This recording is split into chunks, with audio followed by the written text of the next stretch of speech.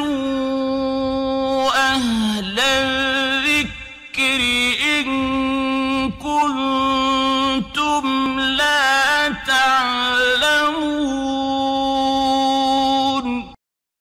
ওয়ালাইকুম আসসালাম রহমতুল্লাহি ওবরাকাতু এক বোন জানতে চেয়েছেন আমরা যখন সফরে বের হই তখন আমরা কিভাবে সালাদগুলো পড়তে পারি আসলে এটা আপনি কি মুসাফির যদি মুসাফির হন অর্থাৎ আপনার পথটা যদি দীর্ঘ হয় পঞ্চাশ ষাট কিলো দূরে হয়, তাহলে আপনি যখন গাড়িতে চড়লেন, তার আগে একটু খেয়াল করবেন যে, এখানে কোনো সালাতের সময় আছে কিনা। মানে হয়েছে কিনা। জহরের সালাতের একটাতে আজান হয়, কিন্তু বারোটাতে যদি আপনি বের হন, তাহলে তখন জহরের সালাতের সময় হয়ে গেছে। আপনি সালাদটা আদায় করে নিলেন, নিয়ে আপনি বাসে উঠলেন। অথবা আপনি জহর পরে আপনি বের হবেন, জহর পরে আপনি বের হবেন, তো সেই সময় আপনি আসরের সালাত আদায় করবেন কি না বা আসর কখন পড়ব বা কখন সময় হবে, তাহলে আসর পরে আপনি গাড়িতে উঠান।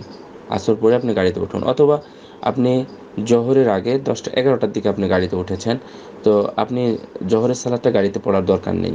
তো মাঝখানে যদি কোনো বিরতি দেয়, তাহলে তখন পড়ে নিন। অথবা যদি আপনি আসরের আগে আগে পাঁচটার দিকে গিয়ে যদি আপনি পৌঁছতে পারেন, তাহলে তখন গিয়ে জহর এবং আসরের সালাদ দুই সালাদ আপনি একসাথে পড়ে নেবেন। দুই সালাত আপনি একসাথে পড়েন অন্যভাবে মাগরীব এবং ঈশা একইভাবে। আর ফজরের সময়টা ফজরের সময়ে পড়ার চেষ্টা করবেন, অথবা যখন আপনি বিরতি পান, অথবা যখন ঘুম থেকে উঠেন অথবা যখন স্মরণ হয় তখন আপনি সালাত আদায় করেন